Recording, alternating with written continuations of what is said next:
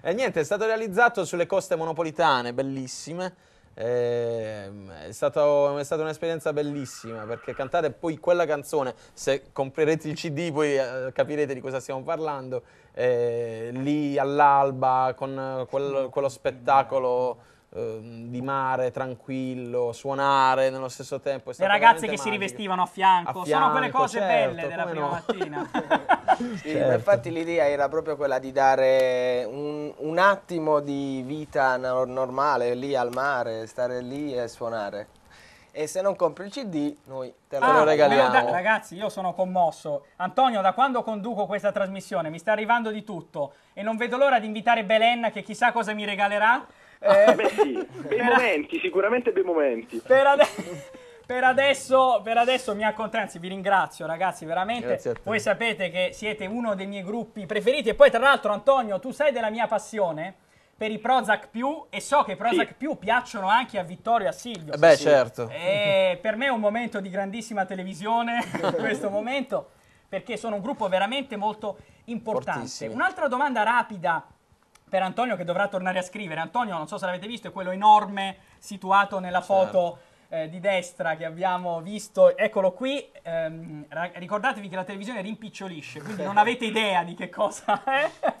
Io ci ho giocato a pallone. Rimpiccionisce tutti tranne Vittorio Nacci. Tranne Vittorio Nacci che, che scala 1 a 1. Invece sì, è proprio come lo vedete. Antonio, tu Dimmi. da amante del cinema hai un occhio al cinema e ci mancherebbe, ma certo. quanto sono belle anche quelle fiction che raccontano ad esempio di Rino Gaetano che è un personaggio sì. meraviglioso della tua Calabria, che è un po' della mia perché ho vissuto e tu lo sai, hai studiato a Catanzaro al liceo classico Galluppi. Ecco, Rino. Gaetano è un esempio anche di modernità e questa bombetta bellissima che hai la utilizzava proprio Rino. No, uh, Rino no, Rino utilizzava no. il cilindro. Il cilindro, il cilindro utilizzava. Il cilindro, è vero. Ho detto una fesseria, fa niente. ma lo stile comunque scanzonato è quello. Sì, sì, sì, assolutamente scanzonato. Tornando Antonio a questa domandina, cosa ne pensi? Sì. Ma senti, io non sono, mm, lo ammetto, un amante della, della fiction italiana perché spesso e volentieri insomma, i prodotti non sono così, di, di, di, qualità così alta. In questo caso, insomma, ve ne hai citata una invece molto interessante ehm, e soprattutto mi hai citato uno dei miei cantautori preferiti. Eh, ragionavo proprio con degli amici qualche giorno fa e dicevo che spesso eh, andando ad ascoltare eh, della musica contemporanea, e questo è un discorso che mi farebbe piacere fare anche con i tuoi ospiti, eh, andando, andando a leggere soprattutto i testi di certi autori contemporanei giovani, eh, io ci trovo molto poco, soprattutto sul mio paese. Se voglio andare a scoprire eh, quello che era l'Italia negli anni 70, negli anni 80, eh, vado a, a, rileggere dei testi. Beh, però di, Antonio, eh, perdonami, scusami, se tu leggi sì. il testo del vincitore di Sanremo Giovani, è un testo assolutamente meraviglioso e impegnato. No, sto scherzando. Questo lo dici tu, no, eh. No, no, no, no.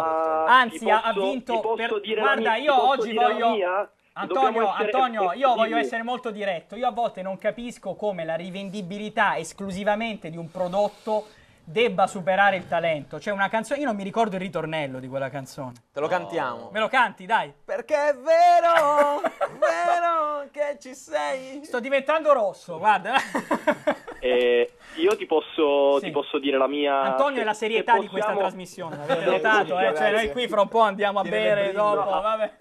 Oh, guarda, se, se, possiamo dirla tutta, senza parlare di Sanremo Giovani, io andrei anche tra i big e andrei a leggere il testo, secondo me, di una banalità incredibile eh, che è quello che ha vinto. Io Salutiamo Emma Marrone, ciao Emma, non, grazie non Emma. Doveva essere la prossima no, ospite e ce l'hanno bruciata. Vabbè, non, è suo, non, è, non, è suo, non è suo, quindi ti sei bruciato il resto di niente, però per quanto mi riguarda non è, ecco, non è un testo, eh, cerchiamo di essere seri proprio 15 secondi, non è un testo del genere, secondo me è molto banale e eh, come dire che è anche molto costruito, a differenza se vai a vedere quello che ha vinto l'anno scorso, Vecchioni che è invece molto più di cuore, di testa e non di pancia. Ma forse anche eh, perché Vecchioni insomma, veniva da, un, da, un'altra scuola, come dicevi tu, dagli anni 70. Esattamente, ma, ma, è proprio, ma, è proprio, quello che dici, eh, è essere vero, cioè se io voglio andare a scoprire com'era il paese nel passato, qual è stata la storia del mio paese, io vado ad ascoltare eh, quelli che sono stati i grandi cantautori. C'era un autofermento. C'era... Certo, esattamente. Oggi purtroppo, no, non sempre, però spesso e volentieri vincono eh, e, e, vendono quelli che sono dei testi e dei brani secondo me molto banali, molto sempliciotti. Mm. Poi questa è una mia personalissima considerazione, ci certo. mancherebbe altro. Perfetto Antonio, dopo avermi bruciato i prossimi 22 ospiti di questo trasmissione. Ma tu lo sai, tu lo sai, tu lo sai che io la, la, dire, la, la, dico fino in fondo, no, eh, come la penso. Antonio è un caro amico, siamo cresciuti assieme, abbiamo fatto più partite assieme che uscite con le ragazze, ma siamo contenti lo stesso e ne paghiamo porto, le conseguenze oggi. Porto ancora, porto ancora, i lividi addosso di qualche gomitata in Un po' come Paolo Montero, io Silvio, difendimi, di ah, qualcosa. quindi giocavi in difesa? Io sono in difesa, difensore eh, sì. vero. Lui invece era un attaccante alla Fausto Rossini, ma questo è un altro discorso. ma questa è un'altra storia, sì, Antonio, esatto. io ti ringrazio, ti ringrazio anche a nome di due Juventini come te che sono Vittorio, Nacci e Silvio del gruppo Io Sempre Voglia. Ciao Antonio, grazie. Ti ringraziamo. Allora, io, io, ringrazio te, ringrazio loro e Forza Juve. Io questa, Forza, Forza Juve, Juve sempre. E, ragazzi, è il minimo. È adesso, il minimo. prima di chiudere, io saluto i nostri telespettatori e ricordo a tutti che questo è Tempi Supplementari, ma fra un po' c'è l'intervista doppia in stile Iene, che è un omaggio con i nostri eh, Vittorio e Silvio che ha fatto una presa, guarda, be, la puoi rifare? La rifaccio, vai, vai, vai col primo piano.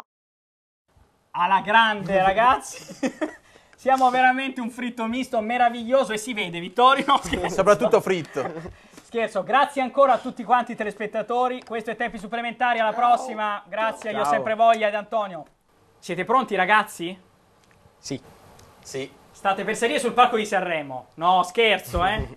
Nome? Silvio. Vittorio. Cognome? Pellicano. Nacci. Altezza? 1,60 qualcosa. 1,80. Peso? Penso 65. Io non l'ho mai fatto per paura di, di farlo proprio, quindi non ve lo dico.